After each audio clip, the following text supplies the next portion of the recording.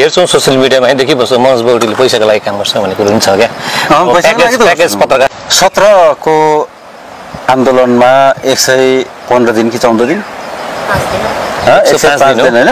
एक सय पाँच दिन बन्द हुँदा सम्झौता गर्ने पक्ष अनित थापा र विनित थापा। पक्षले चाहिँ के गर्यो भने कति लस्ट बेहोर्नेलाई चाहिँ हामी यसो क्षतिपूर्ति पनि दिन्छौँ भनेर घोषणा गरेको थियो होइन। त्यतिखेर चाहिँ कालेबुङको पत्रकार साथीहरूले चाहिँ हामीलाई पनि त लस्ट भयो भनेर लस्टको हिसाब किताब बुझाएको छ। ए अच्छा। कसलाई बुझायो? अनित थापालाई। हजुर। अनि कतिले एक लाख रुपियाँ कतिले अस्सी हजार कसैले साठी हजार कसैले चालिस हजार त्यस्तो गरेर पत्रकारहरूले क्षतिपूर्ति पैसा थापेछन्। नमस्कार अनि जगरका सबैलाई। र जुन जुन शब्दहरू प्रयोग गरेर मनोज बोगटी साथीले कुरा सार्वजनिक गर्यो हप्ता दिन भइसक्यो। सान्नाटा कसैलाई मतलब छैन। कालिम्पोङको प्रत्येक पत्रकारहरू जर्नलिस्ट एसोसिएसन अफ कालिम्पोङ के साँच्चै सबैजना पैसाका लागि मरिहत्ते त्यही माथि जर्नलिस्ट एसोसिएसन अफ कालिम्पोङको महासचिव खुद मनोज बोगटी हो। अनि खोइ यहाँनिर। पत्रकारिता चौथो स्तम्भ जनताको आवाज भन्दै घोटालाहरू त खङ्गाल्छ त उनीहरूले तर उनीहरूले पैसाको लेनदेन गरेको चाहिँ के घोटाला होइन? अनि कालेबुङको समस्त पत्रकारहरू मौन बस्नु भनेको यहाँनिर त प्रमाण गर्दैछ कि सबैजनाले हो पैसा खाप्थ्यो भनेर। यो सानो कुरा होइन। यदि कालेबुङको समस्त पत्रकारहरूले पत्रकारितालाई चाहिँ एउटा धन्दाको रूपमा प्रयोग गर्छ भने चाहिँ जनताको आवाज भन्नु छोड्नु पर्यो। गणतन्त्रको चौथो स्तम्भ भनेर छोड्नु पर्यो।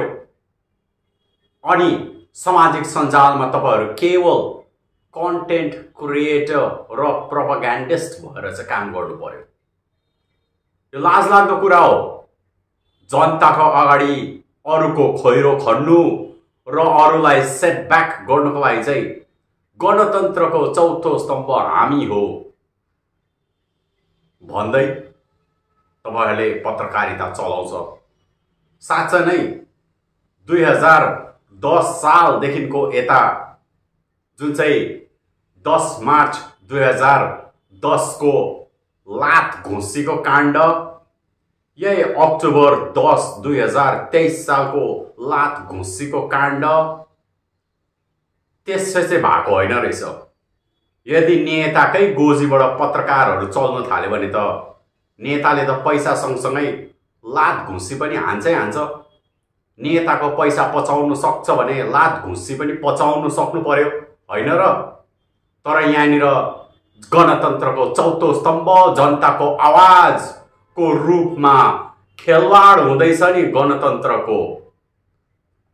जनताको आवाजको खेलवाड हुँदैछ। जनतालाई देखाउनु पर्ने चिज ढाकछोप हुने रहेछ यो प्रकारले। अनि ढाकछोप हुँदैछ पनि। त्यसै कारण यत्रो दिन भइसक्यो। न मनोज बोगटी विरुद्ध एउटा पत्रकारले आवाज उठायो। न कालिम्पोङको जर्नलिस्ट एसोसिएसन अफ कालिम्पोङले मनोज बोगटी माथि कारवाही नै गर्यो। र त्यसै कारण हामीले सिधा अब पत्रकारहरूले गत्ती छाडेपछि हामीले नि सिधा भन्नु पर्यो। पत्रकारको छाला फ्याँक्दा हुन्छ अब। अब कालिम्पोङको समस्त पत्रकारहरू पत्रकार रहेन।